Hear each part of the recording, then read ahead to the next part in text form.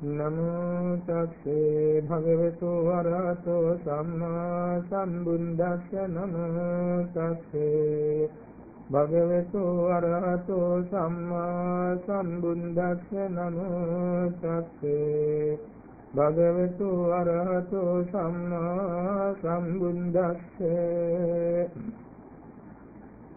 සුඛෝ බුද්ධානං උප්පාදෝ සුඛා සද්ධම්ම දේශනා සුඛා සංඝස්ස සමග්ගී සමග්ගානං තපෝ සුඛෝති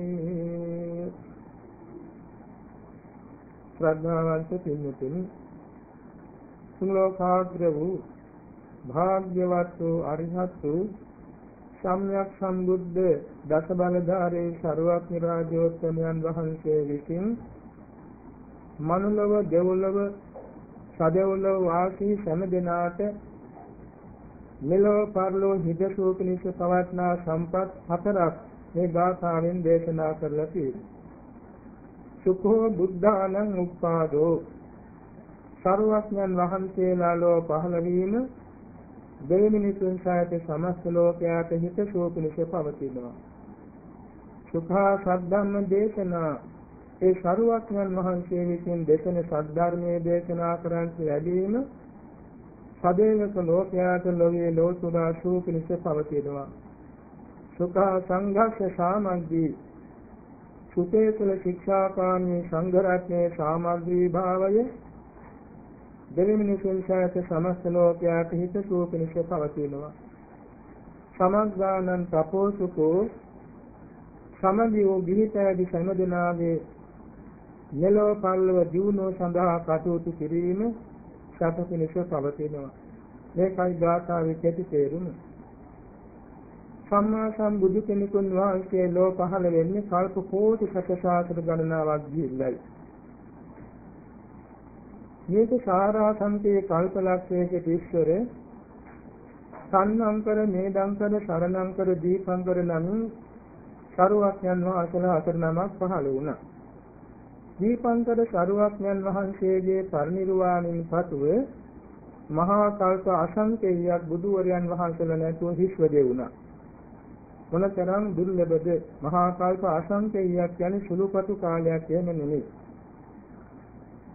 කොණ්ඩඤ්ඤ බුදුරජාණන් වහන්සේගෙන් පසුව මහා කල්ප අසංකේයයක් බුදුරජාණන් වහන්සේලා නැතුව ගෙවිලයි මංගල සුමන රේවත සෝභිත කියන බුද්ධ ශාසන හතර පහළ වුණේ. සෝභිත සරුවක්යන් වහන්සේගෙන් පස්සේ මහා කල්ප අසංකේයයක් බුදුරු නැතුව විශ්ව දෙවුණා. ඊට පස්සේ තමයි අනුමදාසේ පදුම නාරද බුදුරජාන් වහන්සේ තුන් නම එක කල්පයක පහළ වුණේ. නාරද බුදුරජාණන් වහන්සේගෙන් පසුවත් මහා කල්ප අසංකේයයක් බුදුරු නැතුව හිස්වදියා. ඊට පස්සේ තමයි සිව්මතුරා බුදුරජාණන් වහන්සේ පහළ වුණේ. මේම අසංකේය හතරක්ම බුදුරයන් වහන්සේලා නැතුව කාලෙ ගෙවුණා.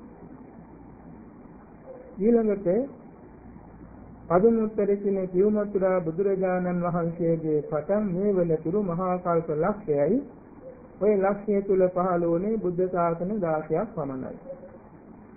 අර සාරා සංකල්ප ලක්ෂ්‍ය ඇතුලේ පහළලා තියෙන බුද්ධ ශාසන 12යි.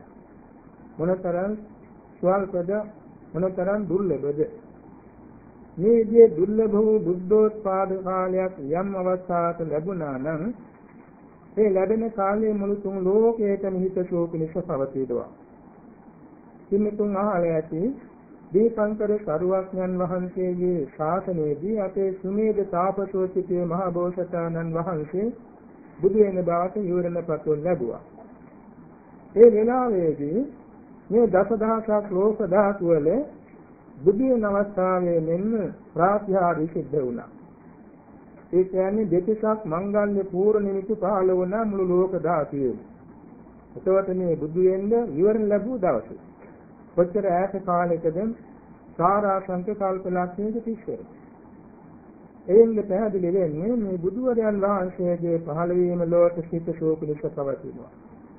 ඒ කියන්නේ එදා ඒ සුමේද තාපසයන් වහන්සේට විවරණ ලැබිච්ච වෙලාවේ උන්වහන්සේ මල් මැත්තේ පළඟ බැඳගෙන බෝධි සම්භාර සම්මර්ෂණය කළා. ගහ වාරයක් මහ පොළොව කම්පා වුණා. ඒ දවසේදී නරකාදී සත් අතමා නරකේ ගිනි නිවිලා ගියා. වේතාපායේ සාපිපාසා නැති විදිය. ත්‍රිසං අපායේ භය ඇති ගැනීම නැති වුණා.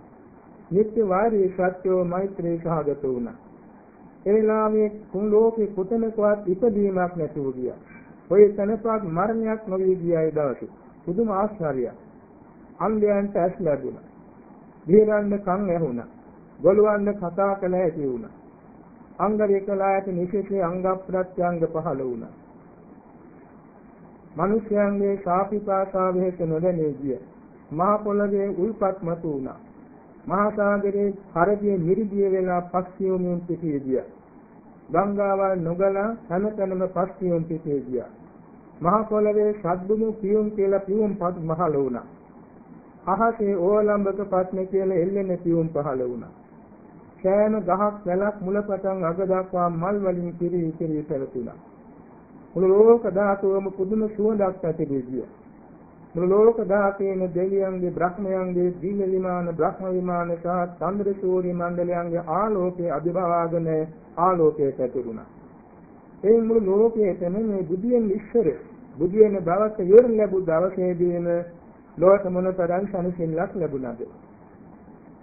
ඒ වගේම අන්තිම ආස්භාවයේදී මෞ කුසේ ප්‍රතිසන්දි ගන්න දවසේ මෞ කුසෙන් දිවි වෙන දවසේදී මාන පරාජයකට ලෝතුරා බුදු වෙන දවසේදී ධම් ශක්තියතුන් දේශන දවසේදී ආයුෂාස්කාර අත්හරින දවසේදී පිරිනැමෙන දවසේදී දස දහසක් ලෝක ධාතු වල මේ මංගල්‍ය පූර්ණිමිති පහළ වුණා. එතකොට බණක් නොවස ධනක් නොදී බුදු කෙනෙකුන් වහන්සේ උපදින එවාගෙම මේ මේ අවස්ථාවලදී මොනතරම් ලොවට සනිසිල්ලක් ලැබුණද? එකමනක් නෙමෙයි. සරුවක්ඥන් වහන්සේගේ ජීවමාන කෙටි කාලය තුළදී බණපදයක් ඇසූ පමණින් කෙලසුන් නැසා මඟඵල නිවන් ලබාගත් පිරිස අතුරින් සූවිසි අසංකේය නව කෝටි 60 ලක්ෂයක් දෙනා සනසුනා නිවනටපත් වෙලා. ඒකා විශාල පිරිසක් නිවන් දුටුවේ සරුවක්ඥන් වහන්සේ නමක් පහළ වූ නිසා නේද? සරුවක්ඥන් වහන්සේගේ දැකීමෙන් පමණක් මොනතරම් දෙනෙක් සැනසුණාද දෙව්ලොවට බඹලොවට ගියාද මේ අනුව සලක බැලීමේදී ඕනෑම විපතක වැඩි සිටි කෙනෙකුට පිහිටක් ලැබෙන්නේ බුද්ධෝත්පාද කාලය නිසායි. සගත් නුවරින් කියා කවදාකවත් ධනක් පිනක් නොකළ අදින්න සුද්ධක කියලා මහා ධනවත් බ්‍රාහ්මණෙක්. එකම පුතේ සිටියා මේ පුතාගේ කනේ පළඳලා තිබුණේ සංකරුවන් විසින් කරවන පරඳනාවක් නෙමෙයි. ඕන්ට ධනෙ දෙන්න වෙයි කියලා රන් කෑල්ලක් අරගෙන කල්ලා කාලා විදලා කනේ එල්ලුවා. ඒක මත මත්තම් කළ ඉල්ලපු නිසා ඒකට මත්ත කුණ්ඩලිය කියලා කියන ආභරණය. ඒ නිසා ළමයාට කියවන මත්ත කුණ්ඩලිය කියලා. මේ දරුවාට නිසිසේ කන්ද බොන්න දුන්නේ නැහැ. 87 කෝටියක් ධනෙ නිදා අංගත ගෙදරක්. නමුත් එකම දරුවාට සැලකියේ ලෝභකම නිසා, මසුරුකම නිසා. අන්තිමේදී දරුවාට පාන් රෝගය ඇදලා මරණ මංචකයටපත් වුණා. බුදුරජාණන් වහන්සේගේ බුදු ඇසිට මේක ලක් වෙලා එදා උදෑසන දෙනුදුලට වැඩියා. දානයක් පිණිස නෙමෙයි දරුවාට අනුග්‍රහ පිණිස. මේ දරුවා පිටේ පැත්තට හැරිලා යන්නේ දිනදාගෙන හිටියේ ශෝෂයන්ද බෑ අසෝෂයන්ද බෑ. සරුවක්ඥන් වහන්සේගේ බුදු රැස් දාදා පිටේට වැටනාම අපහසයෙන් හැරිලා බැලුවා. දානකොට ලෝතුරා බුදුරජාණන් වහන්සේ මුදුල වැඩ ඉන්නවා රන් සඳක් වාගේ දිලිකෙමු. මේ දරුවාගේ තේ පැහැදීමක් ඇති වුණා. මෙච්චර කලක් මං හිතියා අනේ මේ විදිහේ උත්මේ දකින්නමක් ලැබුණේ නෑනේ. මොනතරම් සාන්ත පැවැත්මක්ද ශරීරයෙන් රැකීගෙන තරම් මොනතරම් දියුණු මනසක් යක්ද මට ධන ගහන්න පුළුවන් වුණා නම් දැන් ගිහින් ධන ගහලා වඳිනවා නේද දෝත්නගා වඳින්න පුළුවන් නම් වඳිනවා නේද?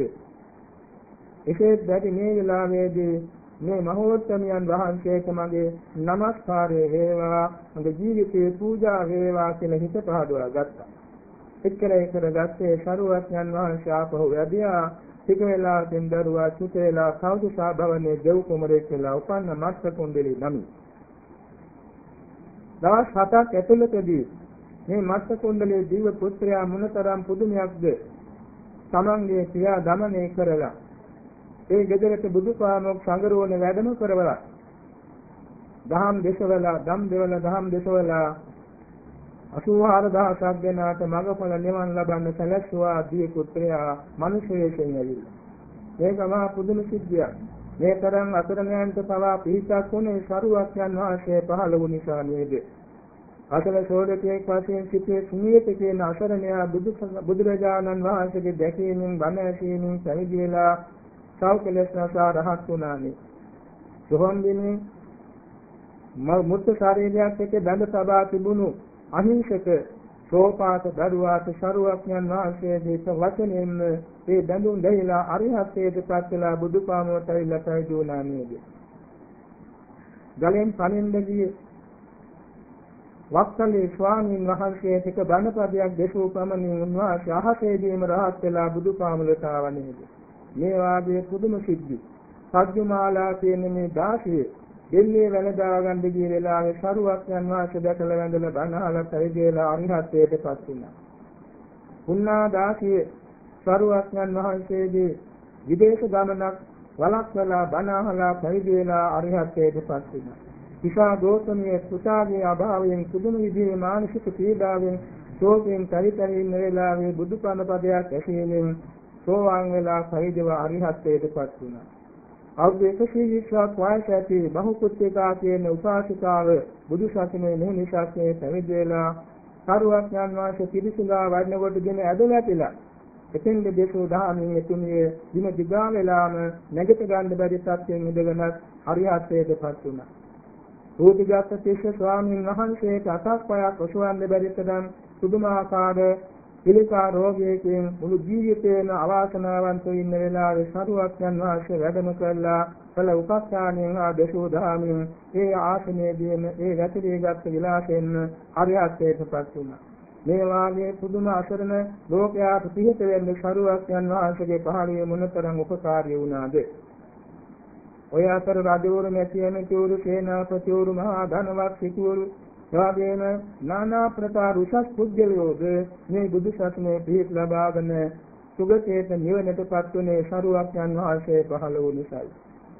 එවාගේම සරුවක්ඥන් වහන්සේ දෙසන්නා වූ මුල යහපත් වූ මැද යහපත් වූ අග යහපත් වූ සදාම් අමාව අහලා මොනතරම් ජනතාවක් මඟඵල නිවනින් සැනසුණාද. පළමුවෙනි ධර්ම දේශනාවේ ධම්සක් සතුන් දේශනේ පවත්වන දවසේදී දසදහසක් ලෝක ධාතු එකම සුවඳින් සුවඳවත් වෙද්දී එකම හඬින් දසදහසක් සක්වල කෙලවරට ඇසෙද්දී අසංකේයයක් පිළිස අමා මහ නිවනටපත් උනේ සදාම් දේශනාව සත පිණිස පවත්නා නිසා නේද එවාගෙම අඤ්ඤා කොණ්ඩඤ්ඤ ස්වාමීන් වහන්සේද සෝවාන් ඵලයටපත් වූ අතර 18 කෝටියක් බ්‍රහ්මයන් අරිහත්ත්වයටපත් උනේ ඒ බුදුබණ පද නිසායි. මහා මංගල සූත්‍ර දේශනාව සානේදීද චූල රාහුල වාද සූත්‍ර දේශනාව සානේදීද පරාභව සූත්‍ර දේශනාව සානේදීද එවැගේම සම්මා පරිබ්බාදනීය සූත්‍රයේ කලා විවාද සූත්‍රයේ සුවතක සූත්‍රයේ චූල විවහ සූත්‍රයේ මහා විවහ සූත්‍රයේ ආදී වශයෙන් දේශනාවසානයේදී මහා සමය සූත්‍රාදී දේශනාවසානයේදී අසංකේය අසංකේය බැගින් සෝවාන් ආදී යත මාර්ගඵල ලැබී කෝටි ලක්ෂය බැගින් පිරිස අරිහත්ත්වයට පත්ුනේ බුදුබණ දේශෝ නිසා වේද සමහර තේක දේශනාව 84000 ගණන් දෙනා මඟඵල නිවන් ලබාගෙන තියෙනවා. 40000ක් එක විට එක බණ පදයහල රහත් වූ භික්ෂු පිරිස ඉඳලා තියෙනවා. එක බණ පදයකින් 20000ක් භික්ෂුන් එක විට අරිහත්ත්වයට පත් වෙලා තියෙනවා. මේ වාගේ සංඛ්‍යා වශයෙන් නො ඉක්ින දෙන්න ආදී වශයෙන් මඟඵල නිවන් සෝයේ සැනසුනේ බුදුබණ පදේ නිසායි. සරුවක්ඥන් වහන්සේගේ පිරිනිවීමෙන් පසුවත් ශ්‍රී ලංකාවෙත් ගම්බුද්දීකෙත් වෙනත් රටවලදීත් මොනතරම් බුදුබණ නිසා මනුලව දෙව්ලොව බඹලොව සම්පත්ම කෙලවර අමා මහ නිවන් ලැබුව නිවන් සෝලේ කොතරම් ඉන්නවද අපේ ලංකාවේ මිහිඳු මහ රහතන් වහන්සේ වැඩම කළ දවසේදී ආරාධනා ගලට ගොඩ වෙලා සාමණේර සුමන සාමණේරයන් වහන්සේ කළ ආරාධනෙන් දසදහසක් වලින් දෙවියෝ මේ ලක්දිවට පැමිණියා. එතෙන්දී මිහිඳු මහ රහතන් වහන්සේ මිහින්තලා පහුවේදී සමසෙත්ත පරියාය සූත්‍රය, එකට සංයෝජන පරියාය සූත්‍රය කියලා කියන එක දේශනේ පැවැත්වූ වෙලාවේ කෝටි ලක්ෂයක් දෙනා රහත් වුණා අසංකේයයක් පිරිස නිවන් දැක්කා. මේ බුදුබණ පද ඇසීමෙන්.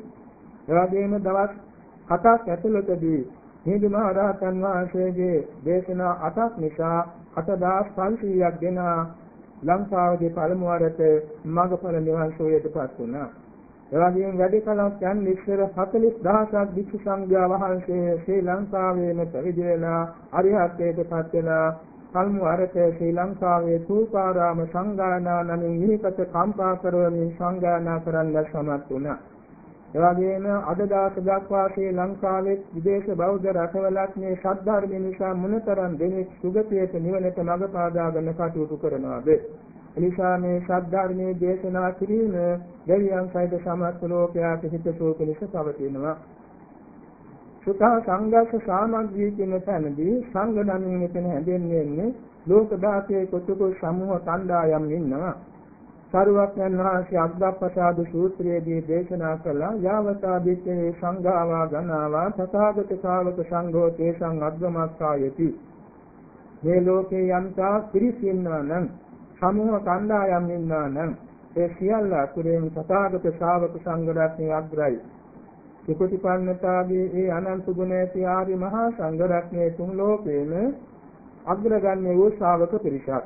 ඒ මක්නිසාද මේ සංඝ රත්නයේ ආර්ය අෂ්ටාංගික මාර්ගයේ නැමැති ශෝභන ගමනින් ගමන් කරන පිරිසක්. එවාගෙම නිර්වාණයට අනුලෝම වූ මාර්ගයේ ගමන් කරන පිරිසක්. නිර්වාණයට විරුද්ධ වූ අවිරුද්ධ මාර්ගයේ ගමන් කරන පිරිසක්. අන්තර්දේ වර්ගයේ මධ්‍යම ප්‍රතිපදාවෙන් ගමන් කරන පිරිසක්. එවැගේම අවංක අකුසල අජින්ම කියන ලක්ෂණ ඇති සිදු මාර්ගයේ ගමන් කරන පිරිසක්. නිර්වාණ ගාමිනී ප්‍රතිපදාවෙන් යෙදෙන නෛර්යානික ප්‍රතිපදාය දෙන පිරිසක්. බුදුපසේ බුදුමහරහතන් වහන්සේ ගමන්ගත් අනුයාත මාර්ගයේ ගමන් කරන පිරිසක්.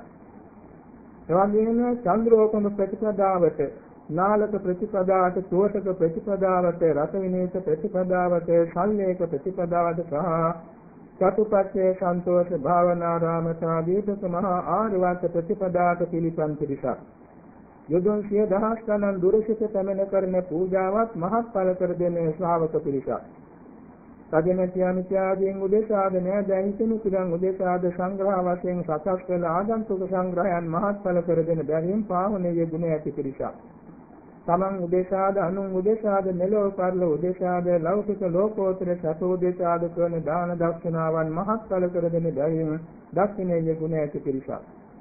දොහොත් නගා වැඳීමෙන් පවා ලෞකික ලෝකෝත්තර සම්පත් ගෙන දීමට සමත් වන බැවින් අංජලි කරණීය ගුණ සමන්වාගත පිරිසක්. දෙවියන් මනුෂ්‍යයන් සහිත සමස්ත ලෝක සත්‍යයට ලෝකී ලෝතුරා සම්ප්‍රත් එලා ගැනීමට හේතු වෙන උතුම් පින්කෙටක් වන බැවින් අනුත්තර පුණ්‍යක්ෂේත්‍ර ගුණ සමන්වාගත ශ්‍රාවක පිරිසක්. ඒ මේ ශ්‍රාවක සංඝ රත්නයේ යම්පා සමග සම්පන්නව වාසය කරන ශේෂ්ඨ ඒ තරමට ලෝකයාට හිතසුව පිණිස පවතිනවා. ලංකාවේ රුවන්වැලි චෛත්‍ය රාජයන් වහන්සේ උදෙසා මුල් දවස් තබන දවසේදී විදේශ රටවලින්ම 96 කෝටියක් රහතන් වහන්සේක තැනට වැඩියා. හරි ඉස්සෙල්ලා අහලා තියෙනවා ධම්සක් ඇතුන් දේශනාවැනි අවස්ථාවලදී දෙවි දේවතා වූ ඉදිකතු මලක් යන 60 70 80 90 කුඩා සියුම් ශරීරමවාගෙන බණ ඇසුවයි කියේ. ඒ වාගේ මේ මළුවට ඇවිල්ලා මේසා විශාල පිළිසක් කොහොමද හිටියේ? සාමග්‍රීය ධර්මයේ පිටා එක හිතින් එක ආකාරයෙන් උදාහරණලා ඒ සමාගයේ අධිමානසික ශක්තිය පාවිච්චි කළ නිසායි. රෝහණ ගුප්ත කියලා රහතන් වහන්සේ නමක් දිලංග වැඩ ඉන්නා තැනදී උන්වහන්සේ උපස්ථාන කරන්න ආව රහතන් වහන්සේලාම 30000ක්. ඔය අතරතදී කක්ෂිත කියලා අතහවිරදි අත උපසම්පදායෙන් අතවස් ඇති ස්වාමීන් වහන්සේ නමක් සිටියා. ඔය අතර විශාල ගරුණෙක් පියාඹගෙන ආවා. මේ රෝහණ ගුරුත රහතන් වහන්සේ තෝතන් කරමින් සිටේ මිනිස් වෙකින් නාග මානවකේ. මේ නාග මානවකයා දැහැගෙන යන්දාවා විශාල ගරු රාජේ. අර 30000ක් අභිඥා බල සම්පන්න රහතන් වහන්සේලා සිටින්නේ නවක උපසම්පදායෙන් අවුරුදු 8ක් ඇති සත්‍යිත ඉස්තර රහතන් වහන්සේ. එක පාරකම විශාල ගල් පර්වතයක් මවලා ගල්ගේ ඇතුළට මේ ඕවනගොත්ත මහ රහතන් වහන්සේ සහිත මේ මානවකයා ගත්තා ගලේ හැප්පිනා අර ගුරු රාජ ආපස්සට ගිය. මේ වාගේ සාමග්‍රී භික්ෂුන් වහන්සේලා නිසා මෙහෙම ආශ්චර්ය දේවල් සිද්ධ වෙලා තියෙනවා. එරණාමේ ඕවනගොත්ත රහතන් වහන්සේ කියලා තියෙන මේ රක්ෂිතනම නොහිතියා නම් මේ 30000ක් දෙන නින්දාවටපත් වෙනාද මේ මානවකයා ගෙන ගියා නම් කියලා. මේ වාගේ ලංකාවේ নানা දිශා භාගයන්ගේ දහස් ගණන් දසදහස් ගණන් ලක්ෂ ගණන් සංඝ රත්න එකට වැඩ ඉඳලා තියෙනවා. ඒකතන ධම්පිලි අරගෙන තියෙන ඒකතන වාඩි වෙලා සමගි සම්පන්නව ධර්ම සාකච්ඡා කරලා තියෙනවා. එවාගේ විනය සාකච්ඡා කරලා තියෙනවා. ඒ විදිහට සංඝයාගේ සාමග්‍රිය නිසා තමයි ශ්‍රී ලංකාවේ බුද්ධ ශාසනය බැදළුනේ වෙනත් ලෝකයක වෙනස් රටවලට වඩා ශ්‍රී ලංකාවේ ගරුත්වය ඇති වුණේ මේ සාමග්‍රී සංඝ රත්නයේ ලංකාව වැඩි හිටිය නිසායි. අවුරුදු 1000ක් තරම් කෙටි කාලය ඇතුළතදී තමයි නිකායවල බෙදලා ඒ විදිහට වෙනස් වීම ඇති වුණේ.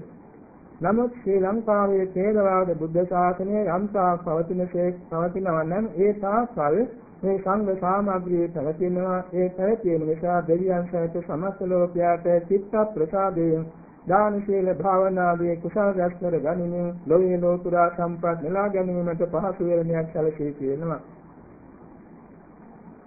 කොසඹෑනුවර 500 500 බැගින් සුසුපිරිස් ඇති ධර්මදාර විනයදාර මහා ඉස්තර දෙනමගේ අසාමග්‍රී නිසා බුදුරජාන් වහන්සේ මුණතරම් උත්සාහ දක්වද සමග සම්පන්න කරවීම පිණිස ඒ වෙලාවේදී සරුවක්යන් වහන්සේ විශේෂයෙන්ම දේශනා කළ බණපදයක් සිහිර නැගෙනවා උන්වහන්සේ දින කීපයක් මුන්වහන්සේලාට අනුශාසනා කළා කිසි කෙනෙක් ඒකට නැමුනේ නැහැ. අන්තිමේ උන්වහන්සේ පාරලීය වනයේට වැඩියා පිරිසින් ඉවත් වෙලා තුන් මාසයක්ම සංඝයාගෙන් ඉවත් වෙලා පාරලීය හත්තරාජය උපස්ථා ලැබෙනින් ඒ වස්සාන කාලයේ ගෙව්වා 10 වෙනි වස්සාන කාලයේ පාරලීය වනයේ. එදා සරුවක්ඥන් වහන්සේ දෙසූ දේශනා තුළින් වැදගත් දේශනාවක් තමයි බෝධිසත්ව දීඝායු කුමාරයන් වහන්සේගේ ප්‍රවෘත්තිය. ඒක සඳහන් වෙන්නේ දීජීතී කෝසල ජාතකයේ කියලා. දීජීතී කෝසල රජතුමා කුසල ධනවේ රාජ්‍ය කළා. මෙතුමා පරම ධාර්මිකයි. තමන්ගේ රටවැසියන් සලකන්නේ දරුවන්ට වගේ. කතා කරන්නේ පුදුම මෛත්‍රී වචනේ. රජතුමාගේ ධාර්මිකකම නිසා අමිත මණ්ඩලය ඒකත් වඩා ධාර්මිකව පැවතුණා. අමිත මණ්ඩලගේ ධාර්මිකකම නිසා වෙනත් ප්‍රදේශ භාර නියෝගාරිවරු ඊටත් වඩා ධාර්මිෂ්ඨ වුණා. එනිසා ජනපද වාසී සිටුවරියට වඩා ධාර්මිෂ්ඨ වුණා.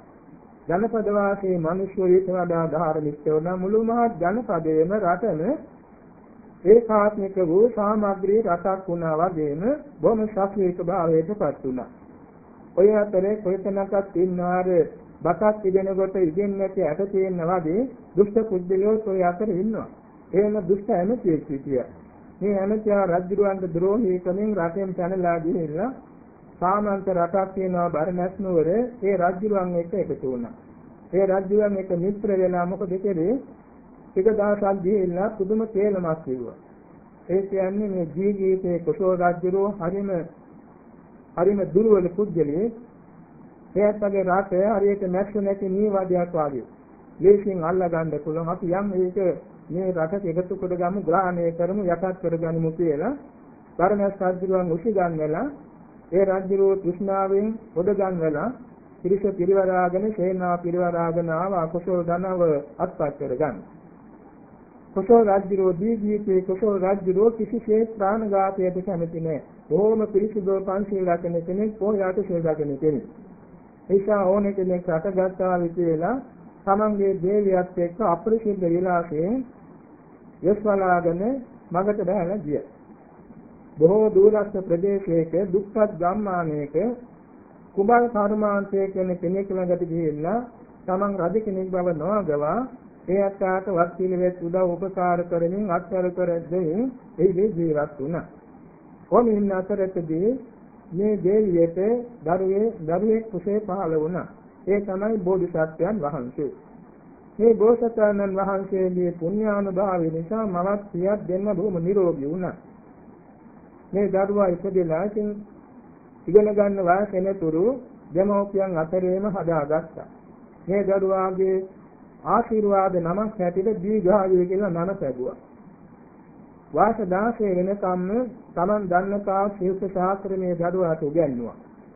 ඊළඟට දූරස්ථ ප්‍රදේශයක උසස් අධ්‍යාපනයේ සඳහා දිසාපාමොක් ආචාර්යවරයන් වහන්සේ නමක් ඇති ගැව්වා. අවුරුදු ගණනාවක් තිස්සේ මේ බෝධිසත්ව දීඝායු කුමාරයා බොහොම උසස් සම්දිනේ අධ්‍යාපනයේ සමත් වුණා. ඒ අතරේ අධ්‍යාපන කටයුතු ඉවර වෙලා ගුරුවරයාට වැඳලා මව්පියන් දකින්න එන්න පටන් ගත්තා. දීර්ඝ මාර්ගයේ පාගමනින් නෙමෙයි දින ගණනාවක් එන්න තියෙනවා. ඔය අතරතේදී පුදුම දෙයක් වුණා. ඒ කියන්නේ දීජීතයේ කුසල රජුවන්ට ඉෂිත හේරපු එවාගේම උඩුරැවල් සකස් කරපු ඇඳුම් අන්දපු කපු මහත්මයෙක් හිටියා. මේ කපු මහත්මයා දැන් සේවය කරන්නේ අර විරුද්ධ රජුරවන්ටයි. විරුද්ධ රජුරවන්ට තේලමක් කිව්වා මේ ජීවිතයේ කුසල රජුරු අහවලත නැහැ ඇඟිලා ඉන්නවා කියලා. කොහොම හරි මේක දැනගෙන. ඒ නිසා මොකද මේ බරණස් රජුරු සිද්ධ කළේ තමන්ගේ සේනාව යවලා ජීවිතයේ කුසල රජුරුවේ දේවිය දෙන්නම අල්ලගෙන ආවා. අලින්න අත් දෙක පිටපැත්තට දැම්වලා සතුමල් පලන්දවල අතුන් ඇඳුම් අන්දවල ඉස මුඩු කරවලා වදදේර ගහමින් කලතලා කඩමං අන්දවල කලතලා ගෙනෙලා දකුණු ආහල්කඩ කඩින් පිටමං කරලා ගෙලගත ආදාන නෙමෙයි හතරට පළල දාන්නයි කිව්වේ. මේ වද පෙරහැර දැන් යන වෙලාවේ දීගාය කුමාරයා හරියට ඉස්සරහට හම්බ වුණා. මේක මහා පුදුම සිද්ධියක්. දීගායු කුමාරයා මව්පියන් දෙන්න අඳුනගත්තා. මව්පියන් දෙන්න දීගායු කුමාරයා අඳුනගත්තා. හැබැයි තමන්ගේ පුතා බව අඟවන්න අකමැති වුණා. පුතාටත් මේ වද ලැබෙයි කියලා. පුතත් ඒ වගේම හඳන්නේ ගැලපෙන්නේ නැතුව මේ වද පිරිසට එක්කාසු වුණා. වද දෙමින් යන පිරිසේ පසුපසින් එකතු වුණා. නමුත් මේ ජීවිතයේ කුසල රජුවන්ගේ මෛත්‍රී කරුණා මොනතරම් පුදුමද? මේ දරුවාට අනුශාසනාවක් කරනවා. මේ අනුශාසනා වෙන කෙනෙකුට තේරෙන්නේ දරුවා උගත් කෙනෙක් නිසා ඒ දරුවාට හොඳින් තේරෙනවා. ඒ අනුශාසනා තමයි මා කෝතාත දීඝායු දීඝං පස්සමා රක්ෂං. නයිකෝතාත වේරාණී වේරේන සම්මන්ති අවේරේනීන තාත වේරාණී සම්මන්ති. මෙන්න මේකයි ආවාදී. මේ ආවාදයේ සියවර දහස් වල තියෙනවා. වදගෙන වදකියෝ වැඩි වැඩියෙන් කරනවා මේක කියනකොට. ඒ කියන්නේ නම් දොඩවනවා කියලා. සිහිකන් නැතුව නම් දොඩවනවා කියලා. නමුත් එහෙම නම් දෙදවීමක් නෙමෙයි මනස සිහි නුවණින් තමයි මේ පුතාගේ අනාගත සුභ සිද්ධිය සඳහා ගුණවත් කෙනෙක් හැටියට මේ ආවාදයේ දුන්නේ. ඉතින් දරුවත් පස්සෙන් යනවා කඳුලක් වගුරන්නේ නැතුව යම්කිසි ආධ්‍යාත්මික ශක්තියක් හිතේ දරාගෙන. දකුණු ආහාරයෙන් පිට මං කළා පිට්ටනියේදී සෝම් පිට්ටනියේදී මේ මව්පියන් දෙන්න තේලියට දිගාකරවල හතරට සැලුවා. මේ දරුවාට ඉතින් දරා ගන්න බැරි තරම් ආධ්‍යාත්මික දැරිල්ලක් ශෝකයක් ආවා. කැලියට ගියා. කැලියට ගිහින් හොඳටම ඇඬුවා. අඬලා ශෝකේ තුනී කරගත්තා. තුනී කරගෙන මොන පිය දාගෙන කල්පනා කළා දැන් මගේ මව්පියන් දෙන්න තමයි උපස්ථානයක් කරන්නට ඕන. කියලා අතේ සුළු මුදලක් තිබුණා. මේ මුදලින් සුරාසලකට ගිහිල්ලා සුරාගෙනල්ලා අර ඒ මෞපියන්ගේ ශරීර කැබලි ආරක්ෂා කරගෙන ඉන්න මොරකඩුවන් එළියෝ. ඕම් මේව හොඳට දීලා නිදාගත්තා. එලා මේ දරුවා කලින් දර කඩලා දරසෑයක් ගහලා මෞපියන්ගේ ශරීර කොටස් එහි ආදාහන කෙරෙව්වා. මේක රාජ්‍යරුවන්ගේ මකුමහන්තලාවේ සීනඳුරු කවුලුවට පෙනෙනවා. රජුරෝ දැනගත්තා මේ නම් මේ නැගුම් කාපු රජුගන්ගේ දරුවෙක් හරි ඥාති කෙනෙක් වෙන්න ඕනේ කවදා හරි මොහොතින් අපට අනුතරක් වෙන්න පුළුවන් කියලා හිතුවා. ඈත කියලා අඳුනගන්න බෑ නමුත් මේ කටයුත්ත දැක්කා. මේ දරුවා දැන් එකලා වුණා නගරයට පිවිසලා රජුරුවන්ගේම ඇතා බලන ඇද්ගොව්වාගේ ඇත්හලට ගියා. ඉතින් කිව්වා මානේ මම ආසරණ දරුවෙක්. මට පුළුවන් දෙදෙනෙහි ගත කරන්න. ආ හොඳයි මේ ඉඩ තියෙනවා වාඩි වෙන්න. මේ කෑම කිනවා කන්න. ඉතින් මේ දරුවා ඒ ආහාර පානත් අනුභව කරලා කිව්වා මාමේ මට පුළුවන් වීණා ගායනා කරන්න. එතුන් කැමති ඉන්න වීණා නාදය අහන්න මං වීණා ගායනා කරන්න. පුදුම විදිහේ වීණා ගායනාවක් කළා. ඒ අද්දෝවට තේරෙන්නේ ඒ තරම් ලස්සනට වීණා ගායනා කරන්න. වීණා වාදනය කරමින් දීපිකා කියලා. මේ හද රජුරුවන්ගේ මාළිගාවට ඇහුණා. අත්හලතින් රාජ්‍ය මාලිගාවට ආසන්නමයි. පහෝදා උදේ ඇද්දෝවා ගෙන නැව කවුලියේ වීණා වාදනය කෙරේ. ඒවා මහ රජුන් තුන්මනේ ඊයේ ආගන්තුක ළමයෙක් අසරණ ළමයෙක් මගේ නිවහසින් ආවා මම ඒ දඩුවා එයාන දීලා දාගන්න දුන්න ඒ තමයි මේ වීණා වාදනය කෙරේ. එන එන්දි කියන්නේ මේක. පරිවාසයට ගෙන්න ගත්තා. මේ දීඝායු කුමාරයා සංසාරේ මොනතරම් මෛත්‍රී භාවනා කරලා ඇද්ද? මේ මෛත්‍රී භාවනා බලය නිසා වෙන්න රජුරුවන්ගේ හිතේ පුදුම විදිහට පැහැදුනා. පැහැදිලා කිව්ව ළමයෝ මේ මාලිගාවේ රැඳෙන්න, ওই නිදුල් යම දෙන්න, තාප පිහ දාන්න, කුණු භාගය අත් කරන්න ඔය වගේ දේවල් කිව්වා. මේ හැම දෙයක්ම කරන්නේ අර පියාගේ ආවාදයේ පිහි සබාගෙන. මේවා ටික දවසක් කරන රජුරෝ පුදුමෙට පහදුනා. එනි කිසිම සේවකයෙක් නොකරන හැටියට බොහොම ඥානවන්තව මේ දරුවා මේ රජවාසන අවතේ සුද්ධ පවිත්‍ර කිරීමේ කටයුතු කරනවා දැක්කා. අන්තිමේදී රජවාසන ඇතුළතම ගත්තා සේවයට. රජවාසනේ ඇතුළේ අභ්‍යන්තර කටයුතු කරන්නේ හැටියට පත් කෙරෙව්වා. මේ දරුවාගේ පුණ්‍ය මහාන්තතාවයි ප්‍රඥා මහාන්තතාවයි මෛත්‍රී බලයේ නිසායි එන්නේ රාජ්‍යරුවේ රාජ විසෝවරුයි සේවක සේවිකා ඔක්කොම පැහැදුනා මේ දරුවාගේ කටයුතු දැකලා. සමෝම ආශිර්වාද කරනවා.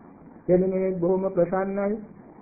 ගත පැතුම් වලින් බොහොම ප්‍රසන්නයි. එනිසා හැම දෙනාගේ සිද්ධිනාගෙන අතර සාජ්ජුරුවන්ගේ රටේ පදවන රියදුරු බවටත් පත් වුණා.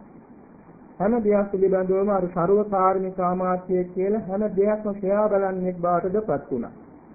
මේ තමයි කියන මතුවේ නැති. අන්තිමේදී රාජ්‍යරුව එක්ක පරම හිතවත් කෙනෙක් හැටියට හැසිරුණා. ඔය අතරත රජුරවන්ට අවශ්‍ය වුණ මෝදදේනේ යන්න පිළිස පිරිවරාව. දහස් ගණන් පිළිස එකතු කරගෙන අස්ස රට වලින් පිටත් වෙලා ගියා.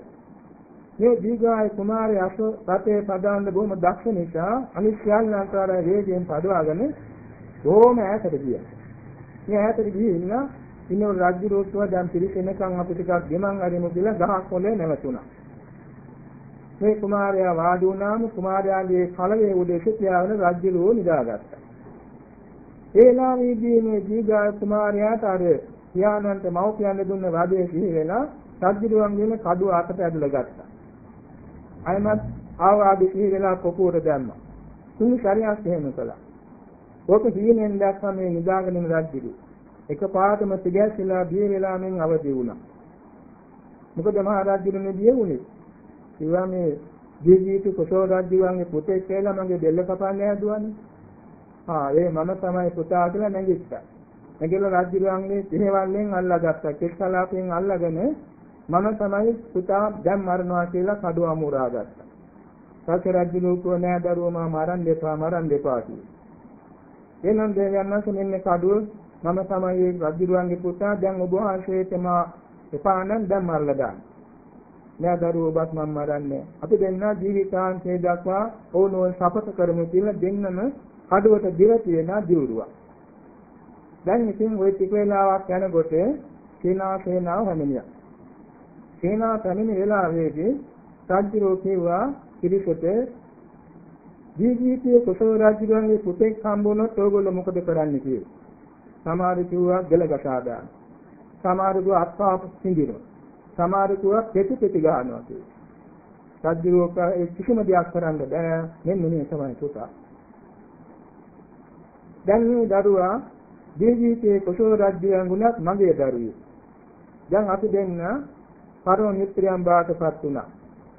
දැන් මොන බුද්ධදිනේ වෙනුවට තියන්න ඕන අපෝ කියලා රාජ සභාවට ගියා.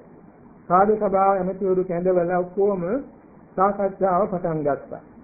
ඒ වෙලාවේදී මේ දීඝායු කුමාරයා ඉදිරියේ ප්‍රශ්නයක් ඇසුවා. අද වද දෙන්නා වූ කුජලයන් ගැනත් ඒ වෙලාවේ සිය රජුලන් කියපු කතාව ගැන ප්‍රශ්නයක් ඇති වුණා. ඒ වෙලාවේදී මේ දීඝායු කුමාරයා සිය රජුලන් දුන්න ආවාදේ මෙන්න මේකයි කියලා තෝරලා දුන්නා.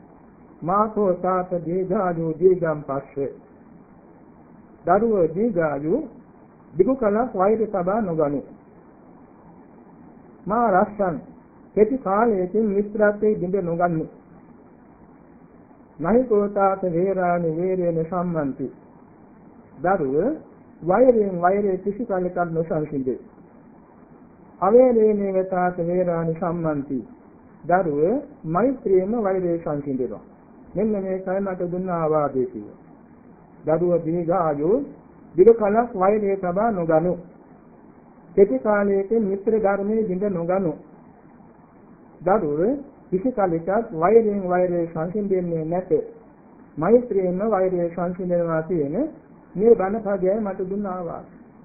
මේක කියනකොට කොටෝ රත්නේ බර්ණස් සජ්ජිරවන්ට කඳුළු වැగిරෙන්න පටන් ගත්තා. තමන්ට වදගෙනින් එක්ක යන වෙලාවේදී තමන්ගේ දරුවාට දීලා තියෙන ආවාදේ මොනතරම් ගරු කටයුතු එවාගේම සනිසීමක් ආවාදයක්. වෙන පිය කෙනෙක් නම් කියන්නේ කවදා හරි මේ විරුද්ධ රාජ්‍යලා මරා දාලා රාජ්‍ය ගන්න කියලානේ. ඒ මොනම දෙයක්වත් නැහැ. වෛරය තියාගන්න එපා කියනවා කලක් කෙටි කාලයකින් මිතුරු ධර්මයේ කඩා ගන්න එපා කියනවා. වෛරයෙන් වාරේ සංසිඳෙන්නේ නැති බවක් මෛත්‍රියෙන් වාරේ සංසිඳෙන බවක් කියනවා මේ තරම් ධාර්මික වූ සිල්වත් වූ ගුණවත් වූ නැනවත් වූ බෝසත් ගුණ ඇති කිය කෙනෙකුට මව් කෙනෙකුට නේද මම වදදුන්නේ කියලා ඒකන මහා කම්පාවක් ඇති වෙලා ඒ පුතා ඉදිරියේ මව්පියන්ගෙන් සමාව ගත්තා. ඊළඟට රාජ සභාව කැඳවලා කිව්වා දැන් මේ දරුවා මගේ දරුවෙක්. මේ දරුවාට මේ රාජ්‍ය මම දෙනවා. මගේ දියණියක් මම දෙනවා. එනිසා සුදීනේ දෙගොල්ල ඕනෝන් අතර මිත්‍රත්වයේ සබාවන රාජ්‍ය කරමු කියලා මේ රාජ්‍යයේ කොසල් රාජ කෝසල රාජ්‍යයේ දීඝාය කුමාරයාට පවරලා බර්ණස් රජුගේ සමංග රාජ්‍යයට ගිය. දිවිහිමින් මේ දෙපිරිස ඕනෝන් සාමග්‍රී ධර්මයෙන් යාපත් ජීවත් වෙලා සුගති කරාය වුණා. මේ ප්‍රවෘත්ති එදා සරුවක් යන වහන්සේ කුසඹෑ නුවරදී අර දෙපිරිසටම දේශනා කළා. උන්වහන්සේ පහදා දුන්න බලන්ද මහණෙනි මෞපියන්ගේ ජීවිතයේ නිතරම විනාශයට පත් කළ තේද්දී ඒ දරුවා සාමග්‍රීට පත්ුනේ මක් නිසා දෙවසීම නිසා නේද? ඥානය නිසා නේද? මෛත්‍රිය නිසා නේද? සසුන්ගතව පැවිදිින්න ඔබ සෑම දිනකයි මේ සමග වෙන්න බැරි කියලා උන්වහන්සේ ආවාද කළා. රාජ්‍ය පැහැරගෙන කෝෂ කෝටාගාර පැහැරගෙන ශූරංගසනික පැහැරගෙන සීලම සම්පත් ශූරාගෙන ඉන්න වෙලාවෙත් මේ තරමට සාමග්‍රී ධර්මයේ පිළිතන් අබුද්ධෝත්පාද කාලවලදී පවා නැනවත් අය පුරුදු වුණා නම් බුද්ධෝත්පාද කාලයේ අයින් සමගියෙන්ද බැරි කියලා වාද කළා. හැබැයි පසු කාලයක තුන් මාසකින් පස්සේ මේ දෙපිටික සමගි වුණා. ඒ කියන්නේ දෙවියොත් ඔකට දෙදලා ගියානේ. අන්තිමේ මිනිස්සු දන් නොදී හරියන්නේ. මේ දෙපිටිකගේ අසමගිය නිසා අන්තිමේදී සවැත් නුවරට ඇවිල්ලා බුදුරජාන් වහන්සේ ගැන සෙව්ව දලුවා සමාව ගන්නේ අනුදමාහිමියන් වහන්සේගේ සහායෙන් බුදුරජාන් වහන්සේ වැඩම කරවාගෙන බුදුපාමුල වැඳලා ශෝකේ තුනී කරගෙන සමාව අයදලා සමගි සම්පන්න භාවයට පත් වෙලා උන්වහන්සේලාගේ දෙලොව දුණුව නිවන් මඟ ආලෝකමත් කරගත්තා.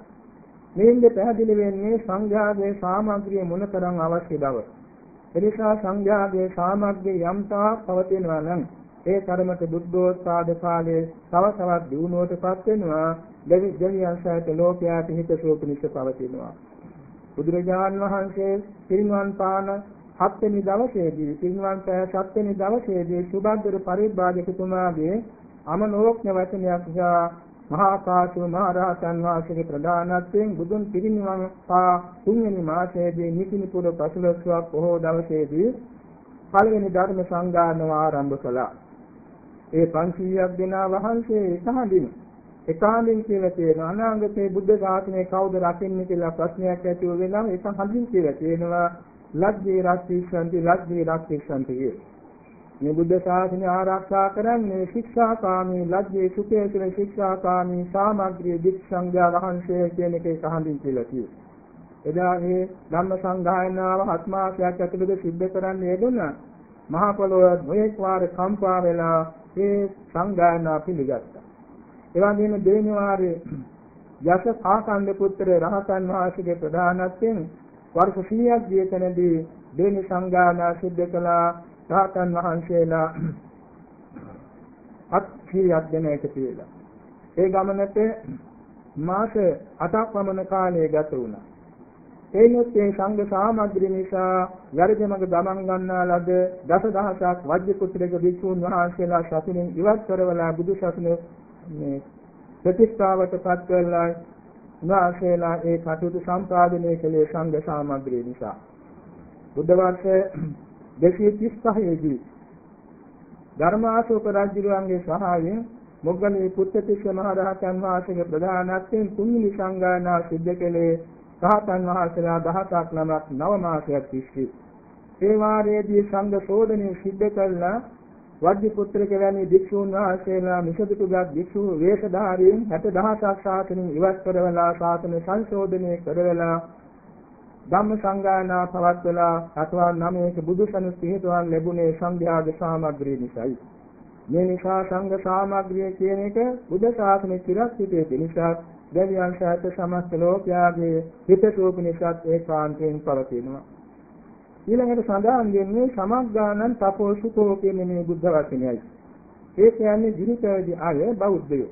ජීවිතයේදී බෞද්ධයෝ යන්තා සමග සම්පන්නව කටයුතු කරනවා නම් ඒ සමග සම්පන්නව කටයුතු කරන්නා වූ බෞද්ධයන්ගේ එකතුව ඔවුන්ගේ පැවැත්ම, ඔවුන්ගේ සීලාදී ගුණ, ඔවුන්ගේ ප්‍රතිපදාව බොහොම සැපදායක බාටපත් වෙනවා.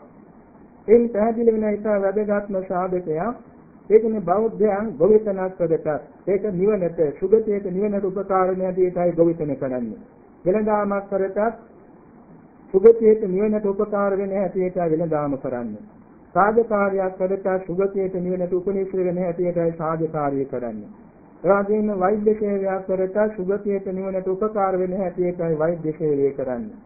කවර හෝ ජීවනෝපායක් කරටත් ඒකා ජීවනෝපාය සිද්ධ කරන්නේ තමන්ගේ සිතේ ආර්ය අෂ්ටාංග මාර්ගයේ වැඩෙන හැටියට මෙලවටත් පරලොවටත් නිවනටත් උපකාර වෙන ප්‍රතිපදාවක් අනුගමනය කරන්නේ මේක තමයි බෞද්ධ ජීවිතයේ වැදගත්ම තැන. ඒ කියන්නේ බෞද්ධය කියන වචනේ තේරුමම බුද්ධිමත් පිරිසක් කියන එකයි. සරුවක් යන ආශ්‍රිතන බුද්ධෝ කියන බුද්ධයෙන් අග්‍ර වූ බැවින් බුද්ධෝ ඒ බුද්ධයෙන් අග්‍ර වූ සරුවඥන් වහන්සේගේ සරණදී ශ්‍රාවක පිරිසද බුද්ධත්වයේවත් බුද්ධිය අනුගමනය කරන පිරිසක්. ඒ බුද්ධියේවත් ප්‍රඥාව අනුගමනය කරන පිරිසක් බැවින් තමයි බෞද්ධය කියන මේ වචනයෙන් හඳුන්වන්නේ. ඒ ඇත්තන්ගේ සෑම කටයුත්තක්ම අර බුද්ධි ප්‍රමාණය අනුව තම තමාගේ සුගතිය වෙනට අනුලෝම ගැන හැටියටයි පවත්වනු ලැබෙන්නේ ඥානවන්තව. වාඩි වෙන වෙලාවේ නැගිටින වෙලාවේ කතා කරන වෙලාවේ ඈම කන්න වෙලාවේ වතුර නාන වෙලාවේ හැම වෙලාවෙම බුද්ධියට අනුව ඒ කටයුතු කරන්නේ. නිදර්ශනක් වශයෙන් අපි කියනවා නම් උදේ පාන්දර නැගිටිනවා. නැගිටිනකොටම සමාගයේ නුවණ අවදි කරගන්නවා. ඒ කියන්නේ මම මේ නිදාගෙන සිටින ඇඳ මේ ඇඳ හදාපැත්තෝ නිදුක් නිරෝගී සුවපත් වෙත්වා කියලා මෛත්‍රී සිත් පහල කරගන්නවා.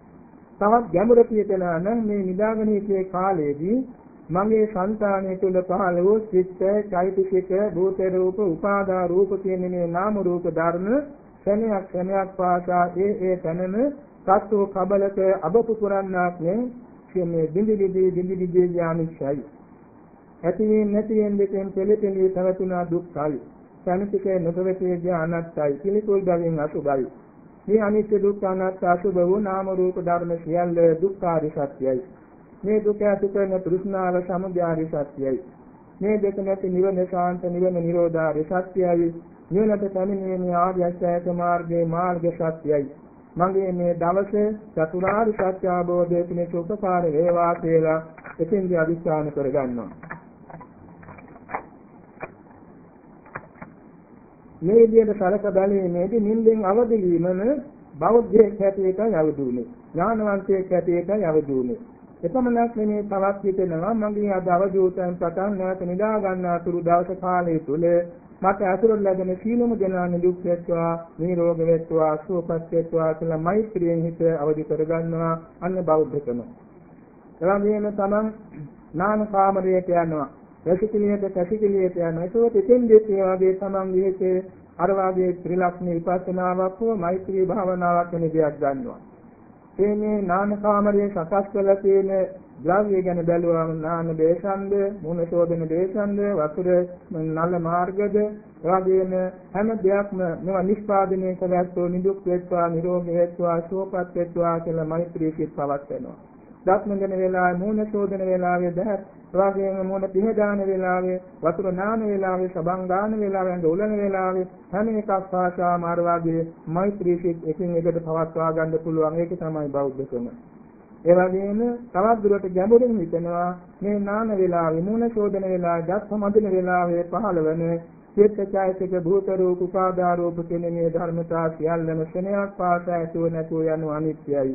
ඇතින් නැතින් දෙකින් නිතර පෙළෙනවා. දුකයි කැමතිසේ නොපවති යනු අනාත්තයි පිළිකුල් බැවින් අසුභයි. අනිත්‍ය දුක්ඛ අනාත්ම නාම රූප ධර්ම සියල්ල දුක්ඛ සත්‍යයි හේතු හේතු තෘෂ්ණාව සමුදය සත්‍යයි ඒ දෙක නැති ශාන්ත නිවන නිරෝධ සත්‍යයි නිවනට පැමිණීමේ ආර්ය අෂ්ටාංගික මාර්ගයේ මාර්ග සත්‍යයි මගේ මේ ප්‍රයත්න මේ මානසිකාර්යය මත චතුරාර්ය සත්‍ය අවබෝධය පිණිස හේතු වේවා. යමුරින් හිතුවා. මේ වාගේ සරල වශයෙන් හරි ගැඹුරු වශයෙන් හරි තමන් ගිහිත යොදලා ඒ කරන ක්‍රියාවල තමන්ට සුගතියට නිවනට උපාය මාර්ගයක් බාට පමුණවා ගන්න. ඒ වගේම තමන් යම්කිසි රාජකාරියක් සඳහා යෙදෙන්න තියෙනවා නම් ඒ රාජකාරියට සම්බන්ධ වෙන තැනට තමන් ගිහිත මෛත්‍රිය විදුණුවා. දැන් අපි හිතලා බලමු ආරෝග්‍ය ශාලාවක අපි සේවයට යනවා. ආරෝග්‍ය ශාලාවට ඇතුළත් වෙන විස්තර පිටත් වෙනකොට හිතෙනවා අපේ ආරෝග්‍ය ශාලාව විද්‍යාහසේ දෙවි දේවතාවෝ නිදුක් වේත්වා නිරෝගී වේත්වා සුවපත් වේත්වා ආරෝග්‍ය ශාලා භූමියේ යම්තාක් අපාද විපාද චතුස්පාද බහුපාද සත්වයෝ පුජ්‍යලයෝ භූතයෝ එවාගේ ප්‍රාණීහෝ ආත්භාවයත්ෝ ස්ත්‍රීහෝ පුරුෂයෝ ආර්යෝ අනාර්යෝ දෙවියෝ මනුෂ්‍යෝ විනිපාතිකෝ ඉන්නවා නම් ඒ සියල්ලෝම නිදුක්කත්වා නිරෝගීත්වා සුවපත් වෙත්වා මුළුමහත් ආරෝග්‍ය ශාලා භූමියේම අපේ මෛත්‍රිය පැවැත්වුවා. එවාගේම මෙතන සේවාවේ නියුක්ත වෛද්‍ය මණ්ඩලයක් ඉන්නවා. ඒ වෛද්‍ය මණ්ඩලයට අපි එක එකිනාට මෛත්‍රී සිත් පවත්වනවා. වෙන වෙනම කරන්න පුළුවන් නම් එතරම්ට ඒකේ ප්‍රයෝජනෙ වැඩි. එවතුවට මේ වෛද්‍යවරුන්ට සේවක සේවිකාවන්ට වෙන වෙනම මෛත්‍රී කරලා තමන්ගේ හිතේ මෛත්‍රිය සම්බ බෙදා දෙනවා. ප්‍රතින්න ඒ වෙලාවේදී තමන්ගේ හිතේ අර බුද්ධිමත් හිතක් බාට පමුණවා ගත්තා. ඒකෙන් තමයි සදා බෞද්ධයෙක් වුණා. එපමණක් නෙවෙයි ඒ විදිහට මෛත්‍රී බලයේ විහිදුවාගෙන එතෙන්ද තනියාන ඒ හැමදෙනාම තමා ගැන පුදුමාකාර අවධානයකින් අනුකම්පාවකින් මෛත්‍රියකින් බලනවා කතා කරනවා සහයෝගය දෙනවා. එතකොට තමන් කරන සේවය බොහොම සැනසille බොහොම සමාධියෙන් යුතුව සිදු කරගන්න පුළුවන් වෙනවා. මේ වගේ බැංකු ආයතනයකට ගියත්, සාධිකායක අමාත්‍යාංශයකට ගියත්, වෙනත් වෙනත් තැනකට ගියත්, එවැගේම වත්සකට ගියත්, කුඹුරකට ගියත්, වෙන වෙන තැනකට ගියත්, විදේශ රටකට ගියත්, මේ හැම තැනකදීම තමන්ගේ මෛත්‍රී සිත පැවැත්වීමේදී ඒක සහභාගී හැම දෙනාගේම సంతාන තුල අර වගේ මෛත්‍රිය පිහිටෙනවා. ඕනෑම දුර්දාන්ත පුද්ගලයෙකුට පවා මෛත්‍රී සිත යැවීමේදී ඕගේ සිත සුදාන්ත සීනීත සංපත් ඉවසිලිමත් සිතක් බාටපත් වෙනවා. මේ කාර්ය 30කට ඉස්සර 1975 දී පුදුම සිද්ධියක් අපි අධ්‍යක්ෂය දැක්කා. අපේ හිතවත් අපට දෙමව්පියවා දුකකාර වෙච්ච හිතවත් මහත්මයෙ සිටිය සුමන කරුණා දක්නේ. ඒ මහත්මයා බොහෝම හිත දියුණු කරන කෙනෙක්. ඒ මහත්මයා කාර්යකාරී වශයෙන් ඒ වකට පොල් මණ්ඩලයේ නියෝජ්‍ය සභාපතිය හිටියා. ප්‍රධාන සභාපති බෞද්ධ නොවන බොහොම ධනවත් කෙනෙක්. එතුමා වෛලි අංශයේ දක්ෂයෙක්, මෙතුමා විදේශ විනිමය අංශයේ දක්ෂයෙක්, වෙනදාම අංශයේ දක්ෂයෙක්. නමුත් මේ සුමන කරුණාදාත්ම මහත්මයාට කවදාකවත් අර ප්‍රධාන සභාපතියගේ කතා කරගන්න දෙන්නේ නැහැ. දේශ බැලුවොත් කුසියා වාගේ තමයි බලන්නේ. බොහොම නපුරුයි. කවදාකවත් විනා වෙන්නේ වචනයක් කතා කරන්නේ සහයෝගයක් දෙන්නේ නැහැ. නිසා මේ මහත්යාට අවශ්‍ය වුණා එතුමා සමග මිත්‍රත්වය ඇති කරගන්න. එතුමා කිව්වා ස්වාමීනි එතුමා වැවිලි අංශයේ දක්ෂයෙක් ගයිනොත් තමන් විනිමය අංශයේ දක්ෂයෙක් ගයිනොත් මේ රටට විශාල ආර්ථිකයක් පොල් මණ්ඩලය මගින් ලබා දෙන්න පුළුවන් අපි දෙන්න සමග වෙන්න උපදේශයක් දෙන්න කිව්වා. ඒ වගේ ඒ වෙලාවේ හැටියට මා උපදේශයක් දුන්න බුදුගුණ බල පිළිතුවන ඒ සභාපතිතුමා ඉදිරියේ ඉන්න හැටි හිතින් බලාගෙන එතුමාට මෛත්‍රී කරන්නේ මෛත්‍රිය කළ හිතින් කතා කරන්න. ඉතින් මේ මහත්මයා හොඳට හිතට අරගෙන මේක කළා. සතියකින් පසුව සම්මුඛ වීම වුණා මේකමකදී. ඉරලා කවදාකවත් නැති සිනා මුතු මුහුණක් දැක්ුවා. ඊළඟ දෙකකින් නැත මේකම නිමිත වුණා. සති දෙක පුරාම මෛත්‍රිය මෛත්‍රිය වඩලා එන රැකීම් ශාලාවට යන වෙලාව පුදුම දෙයක් වුණා. ප්‍රධාන සභාපති වේලාසනින් ඇවිල්ලා දේශුව ළඟටම ඇවිල්ලා අතට අත දීලා පිටට අත තියලා බොහොම සුහදව කතා කරලා වාඩි කරවලා මිත්‍රත්වයෙන් යොදා කටයුතු කරන්න පටන් ගත්තා. එතුමා ඒ ශේයෙන් ඉවත් වෙන තුරුම මිත්‍රත්වයේ පවත්වා ගන්න පුළුවන් වුණේ මෛත්‍රී බලය නිසා. මේ වාගේ Tamande කිසියම් සම්බන්ධතාවක් නැති කෙනෙක් වුණත් ඔහුගේ හිත මුරුදු භාවයට මෛත්‍රී සාගත බවට පමුණවා ගන්නට නම් මේ මෛත්‍රී චිත්ත තරංග විහිදුවීම අතිශයින් උපකාරී වෙනවා.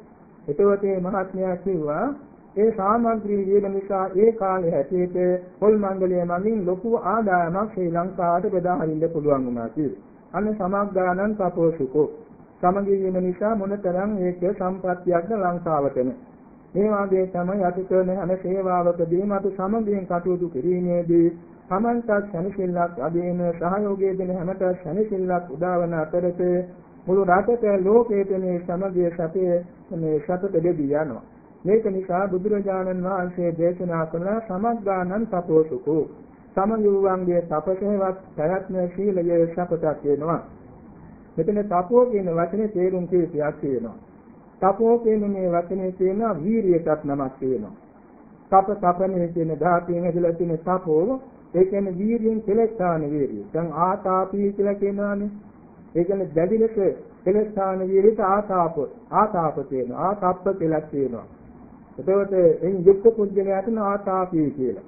ඒ වගේ තමයි තප කියන එකෙන් විදියක් තියෙනවා. දැන් මෙතන කියන්නේ තපස නමෙන් සීලවන්ත බවයි. සීලවන්ත බව පමණක් නෙමෙයි යම්තා සුගතියට නිවනට යන පිළිවෙල ඇතොත් ඒ සියල්ලටම තප කියන මේ වචنين කියන තපස. දැන් අර මහා මංගල සූත්‍රයේ තියෙනවා තපෝත භ්‍රමචාරියන්ත කියන වචනයක්. එතනක් තියෙනවා තේරුම් දෙකක්. එකක් තමයි වීර්යය, දෙකක් තමයි ආත්ම දමනය. ඒ කියන්නේ ආත්ම දමනය කියන්නේ පිළිවෙත් කිරීම. ඒතකොට මේ විදිහට මිනිස්යන් වශයෙන් බෞද්ධයන්ගේ පැවැත්ම තපසක් වෙන්න ඕනේ. ඒ කියන්නේ හිත සෝපනිත පවත්නා පිළිවෙත් සරු ජීවිතයක් වෙන්න ඕනේ.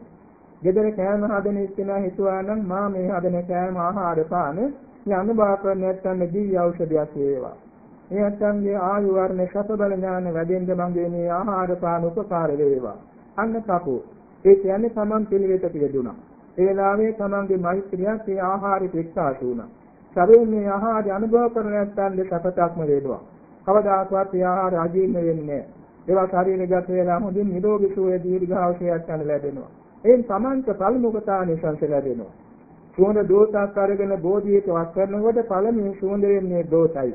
ඒ වාගේ අනුන් වෙත මෛත්‍රිය ඉහිදුවනකොට පළමුවෙන් තමන්ගේ సంతානයේ මෛත්‍රිය සැපය ලැබෙනවා. මේක නිසා තමන් හේතුසෝ පිණිසත් අනුන් හේතුසෝ බෙදාදී පිණිසත් සමග ධර්මය හේතා කටයුතු කිරීම සාරුවක්යන් වාසේ උපදේශයයි. එනිසා මෙතන සමග්ගානං තපෝසුකෝ සමගුවන්ගේ එක මේ සිල්වත් බව, පිළිවෙත් සරු බව, දෙවියන් සහිත ලෝකයාට හිතසුව පිණිස පවතිනවා කියන එක මේ පැහැදිලි කරලා තියෙනවා. බුදුරජාණන් වහන්සේ බුදු වීමෙන් දෙවෙනි වසරේදී පමණ පුදුම දෙයක් සිද්ධ වුණා. ඒ කියන්නේ සාක්ෂි පොලියේ දෙනුවර වාසීන් ඒගොල්ලන්ගේ එකම ගඟක් අරස් කරලා දෙනුවරට ජනපදවල ගොවිතැන් කිරීමට වතුර බෙදා ගන්න. ඒක උෂ්ණාදී කාලයක ග්‍රීෂ්ම කාලයක දුර්භික්ෂ කාලයක ජලය අඩු වුණා. මේ ජලය අඩු වීම නිසා පොළේ වාසියේ ගොවියෝ ඒ පැත්තට හරවා ගන්න අනිත් පැත්තට දෙන්නේ නැති. සමහරවිට ශාස්ත්‍රීය වංශයක ගොවියෝ ඒ පැත්තට වතුර හරවා ගන්න අනිත් පැත්තට දෙන්නේ නැති. මේක නිසා ගොවියන් අතර බහින් බස් වුණා. ගොවියන් අතර බහින් බස් වීමෙන් මේක රජදරුවන් දක්වාම ඊකට මේ අසමගියේ නැත්නම් ભેදය හොලහලේ පැතිරී ගියා. අන්තිමේදී දෙනුවර රජදරුවෝ ඔවුන් අතර පුදුම කෝපයකින් මා යුද්ධයකට සන්නද්ධ වුණා. මේක සරුවක් යන වාසිය දැකලා අහසින් වැඩියා. අහසින් වැඩලා අහසේ තෙමින් ඉඳලා ඕනෝට නොපෙනෙන්න අන්ධකාර නැවුවා. ඊට පස්සේ ආලෝකයේ විහිදුවේ. අහසේ වැඩින්නේ සරුවක් යන වාසිය දැකලා ආවුද දින කියලා ගන්න හැමෝම. කඳල කිව්වා අනේ අපට ඔබ වහන්සේගේ තනමේ මහා සනිසිල්ලක් ඔබ වහන්සේ නැත්තම් මෙතන මහා වේ ගංගාවක් වෙනවානේ කියලා බණ අහන්න සූදානම්. එවනාමේ සරුවක්ඥන් වහන්සේ විශේෂයේ පූර්ව චරිත ගැන හදපාමින් මේ අසන්ද සාමග්‍රී කෙනෙක් අනුශාස දේශනා කළා. ඒ කියන්නේ පන්දන ජාතකයේ එවැගේම සම්මෝධමාන ජාතකයේ මේ වාගේ බුද්ධ බෝධිසත්ව චරිත කීපයක්ම දේශනා කළා. ඒ කියන්නේ වතුර ඇලකට වැද්දෙක් ගිහිල්ලා ලිහිණ වැද්දෙක් ජලක් දානවා. මේ ජලේ මේ වතුර ඇලේ නායකතුමා අපේ බෝධිසත්වයෝ උනාසිකව අපි එකතු වෙලා මේ දැල් උස්සගෙන ගිහින් අකුලක් උඩ දාලා අපි ලිංගල යා. ඔක්කොම එක බහින් උස්සලා ඉස්සලා ගියා. ඕම වාර කීපයක්ම එක වටියෙක්වත් අල්ලා ගන්න බැරි වුණා. ඔහුගේ දැනත් බොහොම අමාරුවෙන් තමයි අර අකුලෙන් බේරාගත්තේ. ඕන ඉන්න අතර එක වටියෙකුගේ ඉස පෑගුණා තාකිනෝගේ වටෝගේ කකුලට. ඔහු පිටිලා බැන්නා. දෙන්න බහින් බස් වුණා. දෙන්න බහින් බස් වීම නිසා ඒක මේ දෙපිලකට බෙදුණා මේ වටුවන් කිරිස. අන්තිමේදී මේ අසමදේශව සමගි කරන්න බෝසත් වටුවා බොහෝ උපදෙස් දුන්න ආවාද කළා සමගුණේ නැහැ. උනාසේ වටුරැල අත්තර දාලා වෙනම ගියා. තමන්ගේ කැමැති කීප දෙනෙක් එකතු කරගෙන ගියා. ඊළඟ දවසේදී දීන වැද්දායිල දල දැම්මා කිසි කෙනෙක් කිසියේ නැහනේ.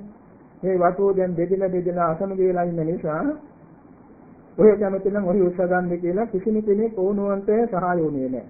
අන්තිමේදී දීන වැද්දා වටුවල ඔක්කොම අල්ලගෙන ගිහින් තමන්ගේ අමුදරුවන් සතුටු කරවමින් වසමස් පෑවා විකුණලා මුදල් කළා. මේක බුදුරජාණන් වහන්සේ පහදා දුන්නා එදා සාමග්‍රීන් ඉන්න දවසේදී මේකා විශාල මහරකයකින් ඔක්කොම බේරගත්තා. අසාමග්‍රී වීම නිසා විශාල විනයයකටපත් වුණා. මේක නිසා සමග්ගානන් තපෝසුකෝ තන තනකදීන සමග වීම සප පිණිස පවතිනවා කියලා සඳහන් කළා. කන්දන ජාතකයේ කියන්නේ එක්තරා වලසෙක් එක්තරා වලකේ කොළොන් ගහක් යට කොළොන් ගහක් යට නිදාගෙන හිටිය. කොළොන් ගහේ දිනක් අත්තක් ගිරකඩයක් කඩාගෙන වැටලා මේ වලහාගේ ඇඟ උඩ වැටුණා. මේ වලහා කොළොන් ගහ ඉන්න දේවතා තමයි මේක කෙරේ කියලා ਉਹ කෙරේ වෛර බැඳගත් දිවිව. ඒ අතරේ එක්තරා සියවදියේ තමන්ගේ රසරෝධ සඳහා හොඳ දැව වර්ග සොයාගෙන ඇවිදිනවා. මේ වලහාට කතා කරගන්න පුළුවන් බවක් මේන් පේනවා. මේ වලහා කියලා තියෙනවා සම්වේච වේලාවේ මිත්‍රයා ඔය රස රෝදෙද හොඳම හොඳම දව වර්ගයේ තමයි කොළොන් ගහේ දව. දෙන්න පෙන්නන්නේ දෙන්න පෙන්නන් දෙන්න කියලා අර කොළොන් ගහ පෙන්නේ. ඉතින් මේ කොළොන් ගහ කපා ගත්තම ඇරී වඩුවා. කොළොන් ගහ සම්බන්ධව දේවතාවෙක් හිටියා. මේ දේවතාව තිබුණා.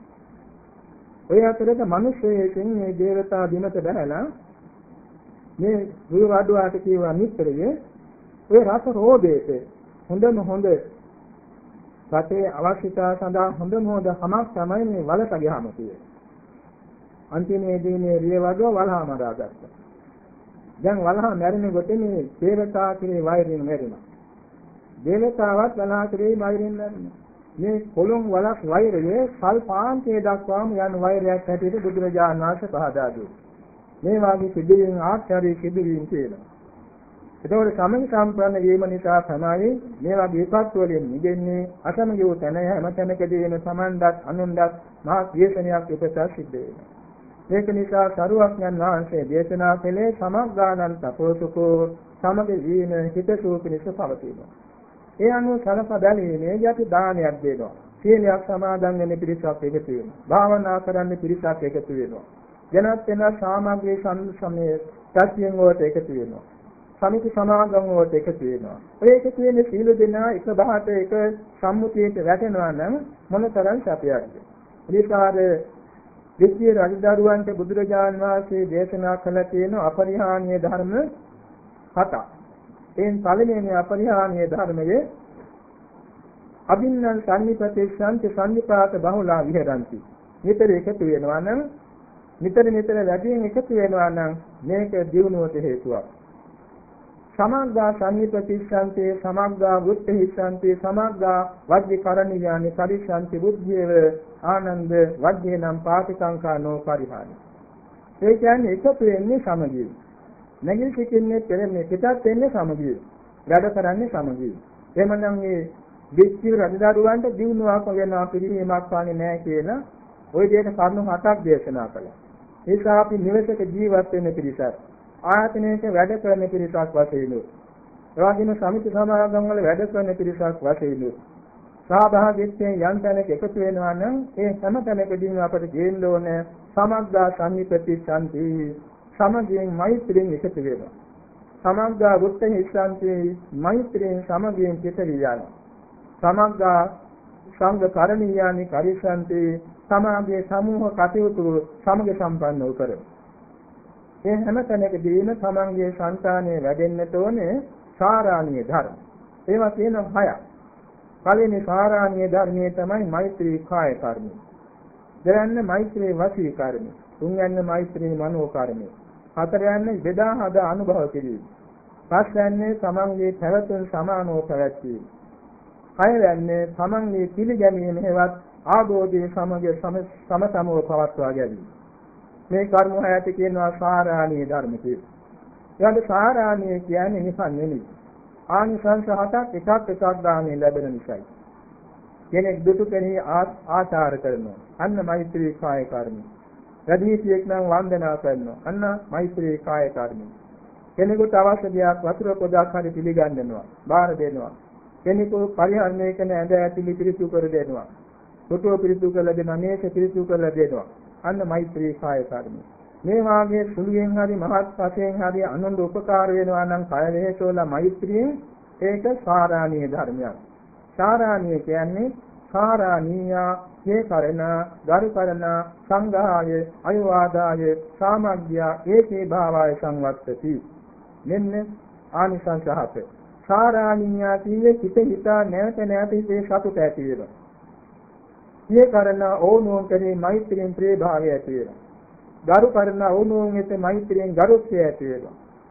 සංඝාය ඕනෝන් වෙත සංග්‍රහයක් ඇතිවීමක් වෙනවා. අවිවාදාය ඕනෝන් වෙත බහින්වත් නොවීම පිණිස හේතු වෙනවා. සාමග්ගය සාමග්ග්‍රියේ ප්‍රයත්න පිණිස හේතු වෙනවා. ඒකේ භාවය එකතුවා එකතු වීම හා සාමේ සමාධිය පිණිස හේතු වෙනවා. මේ ආනිසංශ හතක්ම ඔය කියන මෛත්‍රී කාය කර්ම නිසා ලැබෙනවා. මෛත්‍රී වචී කර්මී කියන්නේ ඇති තැනක් නැති තැනක් ඕනෝන් එත මෛත්‍රී වචනයෙන්ම ආමන්ත්‍රණය කරන නම කියනවා කතා කරනවා ගුණ කියනවා. ඒකත් අර වගේ සාරාණීය සිහිකරණී සනසීමක් ඇති කරගන්න මේ කරන ඕනෝන් එත මෛත්‍රී භාවයෙන් ප්‍රිය භාවය ඇති වෙනවා. ගරු කරන ඕනෝන් එත මෛත්‍රියෙන් ගරුත්වය ඇති වෙනවා. ඒ වගේම සංඝාය ඕනෝන් එත සංග්‍රහයක් සංසිරිය වෙන වචනේ. අවිවාදාය ඒ වගේම විවාද නොවීම පිණිස බහින්බස් නොවීම පිණිස හේතු වෙනවා. සාමග්ග්‍යා සමගිය පිණිස හේතු වෙනවා. ඒකේ භාවාහිතේ සමාධිය පිණිස හේතු වෙනවා. මේ වාගේ මෛත්‍රී මනෝ කර්මයේ තියෙන ඇතිතනක් නැතිතනක් හතපත් හදපත් වෙන්න තමන්ගේ මෛත්‍රී සිත පිහිටුවනවා. එවාගෙම ලද පමණින් සතුට වෙනවා පමණක් නෙමෙයි ලද දේ බෙදා හදාගෙන පරිභෝග කරනවා. අපි හිතමු යම් කිසි කෙනෙකුට ඉස්සර කතාවක් අපේ තියෙන ගමේ ගොඩේ මව්වරුන්ගේ එක නෙල්ලිගෙඩිය හත් දෙනෙක් කාලා ගඟටත් දන් දුන්නා කියලා ගඟේ සතුන්දා. ඒ කියන්නේ නෙල්ලිගෙඩියක් කාලා බඩ කෙරෙන්නේ නැහැ. නමුත් අර බෙදා හදා ගැනීම නිසා උන්ගේ බඩ කෙරෙනවා. උන්ගේ හිතන ලොකු සනිසිල්ලක් ඇති වෙනවා. මෛත්‍රිය ඇති වෙනවා. මේ වාගේ තමයි සමාජ සුළු දෙයක් හරි ලැබුණා නම් අපි උතුම් ශ්‍රේෂ්ඨ කැලලක් ලැබුණා කියලා ඕක ලැබෙනකොට මේක තවත් කෙනෙකුට කැලලක් හරි පිළිගන්නන්න අපි සහභාගී වෙනවා මෛත්‍රී සාගත වෙනවා. කාටවත් බෙදා හදා වන්ද ගන්න අපි සමගි සම්පන්න වෙන්නේ. ඒකෝට ඕනුන් එත පිය කරනා ඕනුන් එත පිය භාවය තියෙන සාරාණීය නිකරණී සිටේ සනසිල්ලක් ඇති කරගන්න පුළුවන් වෙනවා. ගරු කරන ඕන් එත ගරුත්වයක් ඇති වෙනවා. සංඝාය ඕනුන් එත ආමිෂ සංග්‍රහයක් ධර්ම සංග්‍රහයක් කළා වෙනවා. අවිවාදාය බහින්වත් නොවන පිණිස හේතු වෙනවා. සාමග්ග්‍යා සමගිය පිණිස හේතු වෙනවා. ඒකේ භාවිතේ සමාධිය පිණිස හේතු වෙනවා.